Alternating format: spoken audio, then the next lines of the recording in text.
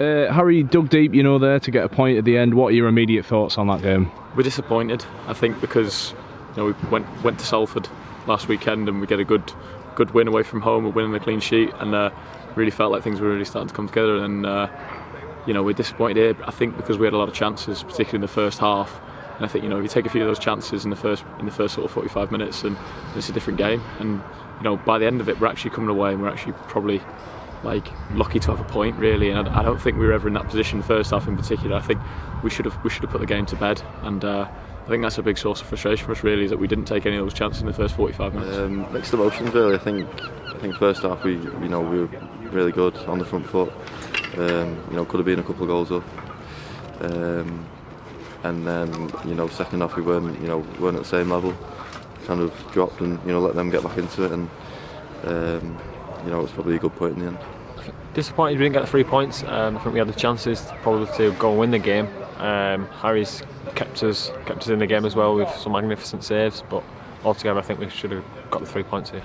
And a bit of a hostile atmosphere, I'd say. You know, it was a really loud ground. Uh, what is it like playing in those sorts of uh, atmospheres when you're the opposition side? Yeah, it's difficult. Um, you know, you know, they, they, really got behind the team today, and you know, it was a great atmosphere to play in. Um, but yeah, it was tough. It was tough at times, and we had to, you know, we had to dig in as a team, and um, I thought we did that. Um, but yeah, probably, you know, if we're if we're being honest, we could have been a little bit better in those moments, and you know, tried to, you know, play our football a little bit more and, and quiet them down. Yeah, I think at moments you've got to block it out. Um, obviously, it's nice to play in front of the fans, but when they're on your back, I think you've just got to block it out and then just concentrate on your own game. No, it's a good atmosphere here. You know, they they had a fair few they had a fair few fans here, and um, that's what we want. You know, that's, that's, what I want. I want to be playing in packed out stadiums, and you know, our away end's always good. Um, but you know, we should relish this sort of thing. You know, this is this is a what I would describe as a traditional football ground, and it was nice to play in front of a crowd like that today. But unfortunately, we haven't uh, haven't made the home fans go home upset. So um, yeah, we're disappointed. And you know, uh, quite a few special saves, particularly towards the late stages of the game. Uh, just talk us through those. Nah, like you know, for me, goalkeeping is about moments, and like you know, sometimes your team needs you in a few moments. You know, Salford last weekend, uh, didn't didn't make save, didn't need didn't need to make save, kept clean sheet. Today, you know, there was, a, there was a few times when my team needed me, and in those moments there, you just got to do your job. You know, like um, that's that's what it's all about. That's what it's all about is, is being there for your team when they need you, and that's that's what I'm trying to do. Really, I'm not trying to get involved or be a hero or anything. I just want to just want to be there for when my team needs me. Really, that's it.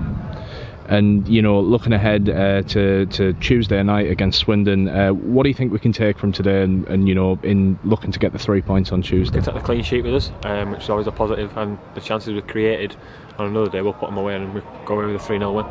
I think we need to, you know, I think we need to be a lot better than we were in the second half today against Swindon. Um, and you know, kind of take the positives from the first half performance, and you know, try and take that into into Tuesday and hopefully we'll uh, we'll get a positive result.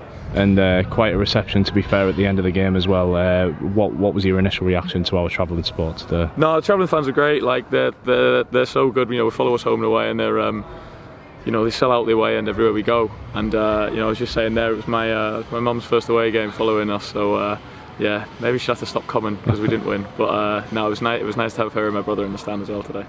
Quality, man. Thank you very much. Yeah, cool.